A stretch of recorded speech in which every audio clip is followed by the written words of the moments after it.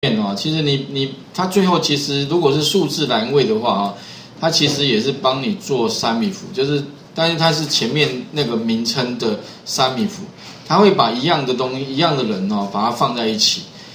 哦，那其实里面实际上也做一个叫三米符跟康米符啦，所以其实哦。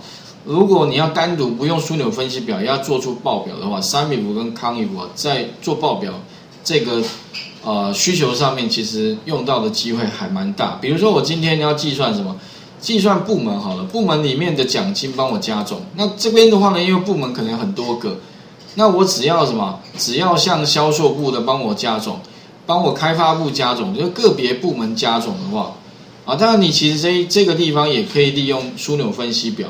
有没有？你就把什么部门跟奖金有没有放到枢纽分析，它也会帮你加在一起，对不对？啊，但是如果说你今天哦杀鸡不用牛刀，你想说啊，我不用这么复杂，我用函数就做一做就好了哦。比如说我报表很简单，几个栏位填一填，那这个时候的话呢，其实哦，你就可以利用什么？利用叫插入函数。所以特特别重要，我们这边有三米符切过来，那我就用什么呢？用那个数学这个。啊，数学函数这这个类类别，然后呢，你就在底下找一下，找到刚刚有一个 sample 的上面有一个叫三 if，啊，有没有三浦啦上面？啊，当然另外有一个 sum if s 了哈，这个 s 的话呢，哈，其实它跟 sum if 最大的差别是 sum if 只有一个条件，sum if s 的话呢是多个条件，有没有？它这边 criteria 就是一个。一个范围一个 criteria，一个范围一个块，它有好几个好多个范围。如果说你的栏你要那个条件不止一个部门，而是说你还有别的条件栏的话，那你可以用三米为 s 啊。不过目前我们这个这一题是比较单纯，好，所以我用三米符。哎，OK，按确定。再来的话呢，哈，它会有三个条件要你下。第一个的话，range 特别重要，我是建议啦，我的习惯是哦，这两个一组。这个是最后要做的，就是呢，在这个范围里面的什么条件？如果这个范围里面的条件为 true 的时候，那就帮我把另外一个范围同样位置的资料帮我做加总的动作哦，大概是这样啊。所以我示范一次，有看一，我们你当然你也可以先，有的时候甚至我刚才想习惯先把中间先加。我的条件就是哦销售部，所以我就直接怎么样把那个销售部哈这几个字输入。啊，帮我把那个销售部的这个哈，呃，这个这个部门的话资料啊，帮我把它什么，把它找找到哦啊，在哪个部部门啊，在哪一个范围呢？第一，所以第一先先 criteria 条件啊，理论上它会自动帮你加双引号，OK 哦，因为它是一个字串。第二个去哪边找啊？所以这个先做，去这个范围找找看，如果有找到的话呢，帮我把。奖金加起来，那指的是同样位置的哦。OK，哎，这个一千八、一千五，这个不是一千二，所以加总之后的话呢，就把结果 return 过来四千五。OK，应该可以懂这个逻辑吧？哈，那底下开发部的话，当然哦，你就可以把把这个复制一下，这边把它贴一下，这边改成叫什么叫开发好了哈，开发部。OK 哦，那一样嘛，开发部一个。开发部两个加在一起，OK 哈，所以这个地方的话，这三米啊。第二个是说，如果销售额大于五万的，所以这个销售额如果大于五万，把这边加起来，所以一样啊，插入函数。哎，我最近使用过的三米符，哦啊，所以啊，criteria 除了说可以用那个什么，用销售这种字串之外，你可以什么大于五万，也就是说，你可以在那个什么呢？一个数字的前面加上大于、等于、小于等等的那个运算值，可以有没有让他去做逻辑判断？哎，有没有大于啊？OK 哈，但是他最后一样会在外面加一个那个什么双引号，这个是固定的。然后你哎，所以啊，这个大于万哪个范围啊？所以我希望先二再一哪个范这个范围，帮我找找看有没有大于五万的啊？有有没有？有的话呢，帮我把什么呢？把这个范围加起来。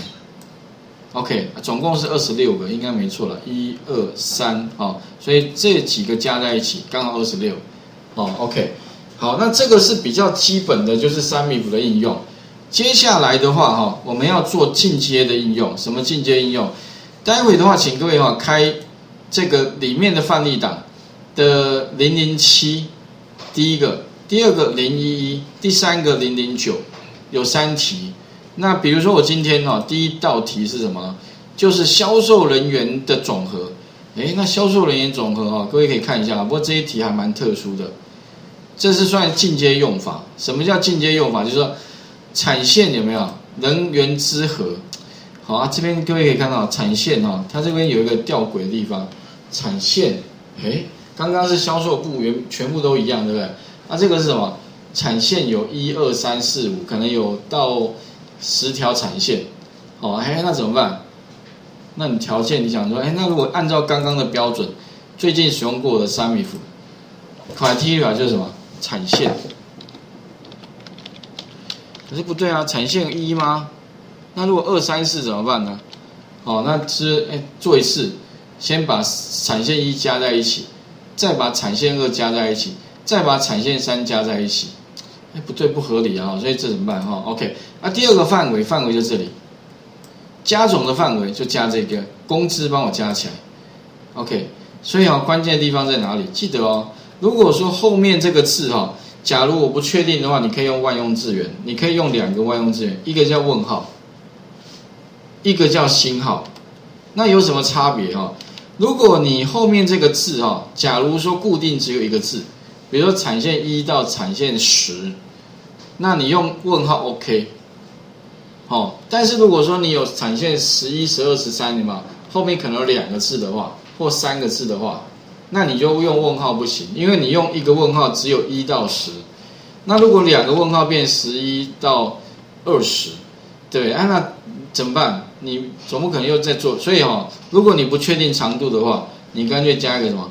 加一个星号，星号指的就是不确定长度，不管说几个字。反正一个字、两个字、三个字、四几个字都没关系，只要说开头是产线的，就帮我找到吧。OK 啊，这个万用字源还蛮重要，因为有些同学不会用的话，哇，那麻烦了。你可能要一直加、一直加，那很浪费时间。所以一个星号跟问号按确定之后，他就帮我加在一起了。那另外顺便讲一下，哎，如果哈，我希望怎么样新增一个，哎不，这个干脆直接复制过来好了。如果我今天希望哦，刚刚这个动作哦，我要把它用用 VBA 的方式来写的话，哎，这样怎么做？我不要，不是说丢公式哦。如果你现在直接丢一个公式用三秒，那没有意义啦。我希望怎么样？最好是哈，可以用 VBA 啊？怎么写？所以你如果旁边按个按钮是一个 sub，然后它可以怎么样？For i 等于第二列到第十一列，做什么呢？如果它的 A 栏里面的资料的开头两个字是叫产线的话，开头，那帮我把它这边的资料累加起来，累加累加累加累加完之后的话，再帮我把结果丢到这个储存格。哦，所以如果刚刚的这个叙述哦，你有办法把它转成 VBA，其实这这个地方 VBA 的重点就是如何在 VBA 里面写出累加的程式。OK，啊，累加的程式里面的话，还包含什么？一个回圈，逻辑判断，再累加，哎，那程啊，最后把累加结果啊丢到这个储存格，哎，那要怎么做？OK，好，所以请各位先试试看嘛，啊，也许先开零零七这一题，然后呢，把刚刚这个产线这个信号做出来，啊，待会我们再来看哦，如何再把它变成 VBA 里面的累加做法，OK 哈。所以，请各位先试一下吧，把这个三米符大概熟悉一下哈。那特别重要，就三个三个参数，我的习惯会先从中间开始啊。好，反正那个条件是对应到上面那个范围啊。如果说那个啊条件跟范围哈符合的话呢，那帮我把底下那个范围对应到的资料啊，一般是数字啊，帮我做加总，其实就得加起来。哎，那如果说我今天同样的类似方法，假如我不要用三米符来做的话，我要把它改写成 VBA 哦，那这个地方呢该怎么做哦？那请各位先试一下哦，待会我们再来看这个零零七的 VBA 哈。